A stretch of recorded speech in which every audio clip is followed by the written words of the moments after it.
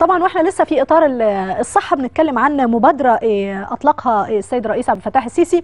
وزار وزير الصحة أطلقها بناء على توجيهات السيد الرئيس بإطلاق حملة قومية موسعة للقضاء على فيروس سي في 2020 أو 2020 معنا عبر الهاتف الدكتور مجاهد. دكتور مجاهد متحدث الرسمي باسم وزارة الصحة. دكتور خالد؟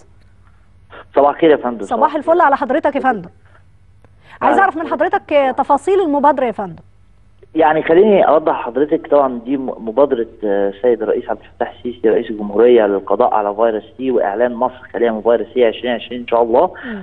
إحنا كان عندنا برنامج بعد ما نجحنا في علاج الحمد لله مليون ونص مواطن وبرنامج للمسح الطبي الشامل عشان أوصل ل الناس اللي عندها فيروس سي، أنا أصبح ما عنديش قائمه انتظار أصبح ما عنديش مرضى بيتقدموا علشان ياخدوا علاج لجنة الفيروسات الكبدية. فانا النهارده بقيت بعمل مسح طبي الحمد لله مسح طبي شامل لكل الجمهورية عشان أقدر أعرف مين المصاب وأقدر أديله علاج. تمام. آه الحقيقة إحنا نجحنا في إن إحنا آه نعمل مسح ل 5 مليون مواطن حتى الآن. إحنا آه في توجيهات من السيد الرئيس بالانتهاء من فيروس سي تماما خلال 2020 واعلان مصر خالية من سي عشان نعمل كده كان لازم يتم عمل حملة قومية موسعة للمسح الطبي وعلاج فيروس سي. الحملة دي بتستهدف إن أنا كل عام أنتهي من مسح وعلاج 15 مليون مواطن. الكلام ده على ثلاث أعوام وبالتالي أقدر أعلن مصر خالية من فيروس سي 2020 إن شاء الله. الحملة دي تم إطلاقها اليوم. بدأت في 17 محافظة بالتوازي. عبارة عن قوافل طبية سيارات القوافل الطبية بتتوجه للمحافظات هي بالفعل بدأت دلوقتي في 17 محافظة. سيارة القوافل الطبية بيتم إجراء فيها مسح طبي شامل عبارة عن تحليل ال ELISA أو rapid test التحليل ده بتطلع نتيجته إيجابية ده تحليل مبدئي. في تحليل تاكيدي اللي هو ال PCR بيتم عمله.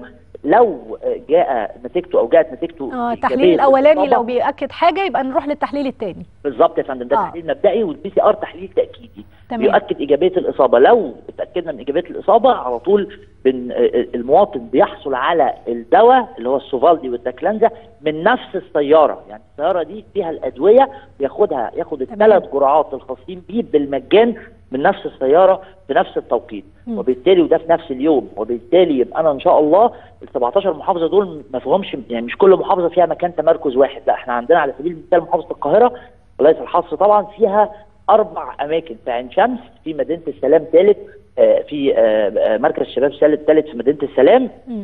في منطقة الشرابية. يعني كل محافظة متاح يا فندم على الإنترنت؟ دكتور خالد متاح الناس تدخل تعرف مثلا الأماكن فين وتم الإعلان عنها عشان استمرارية الموضوع.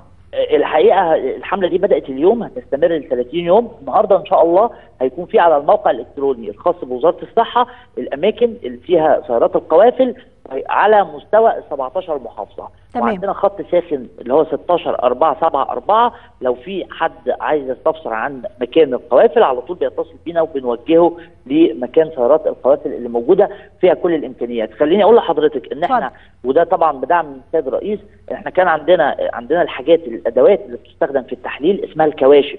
أوه. الكواشف دي موجودة عندنا على مستوى المديريات كل مديرية عندها الكواشف الخاصه بيها ولكن. إحنا عندنا في مخازن الوزارة النهارده صباحا خرج من مخازن الوزارة 2 مليون ونص كاشف لإجراء التحاليل كدعم لل 17 محافظة اللي بيتم فيهم إجراء التحاليل دي وطبعا الحملة دي اطلقتها وزارة الصحة بالتعاون مع تحيا مصر وبالتعاون مع مشيخة الأزهر وبدعم السيد الرئيس للانتهاء من فيروس سي إن شاء الله 2020 إن شاء الله. بشكرك. شكرا جزيلا دكتور خالد مجاهد المتحدث الرسمي باسم وزارة الصحة و17 محافظة والحملة هتكمل كمان على باقي المحافظات لمدة شهر المطلوب من سيادتك كمواطن مصري. التوجه لمكان الحملة دي دوروا شوفوا على الإنترنت كل واحد المحافظة بتاعته. فيها الأماكن الخاصة بالحملة دي القافلة هتكون واقفة فين؟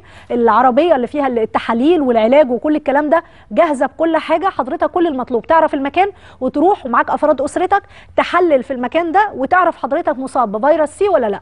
لو مصاب هيقول لك النتيجه إن حضرتك مصاب وهيديك العلاج فورا وهيكون في متابعة للموضوع. دي حاجة بسيطة مش هتكلفنا حاجة لكن في النهاية هنوصل إن إحنا هنكون ما عندناش المرض المقلق ده بالأبعاد بتاعته الكتيرة السيئة. مصر إن شاء الله بإذن الله في سبيلها إن سنة 2020 هيكون مصر خالية تماما من فيروس سي. وطبعا بأكد على حضراتكم إن دايما الوقاية خير من العلاج.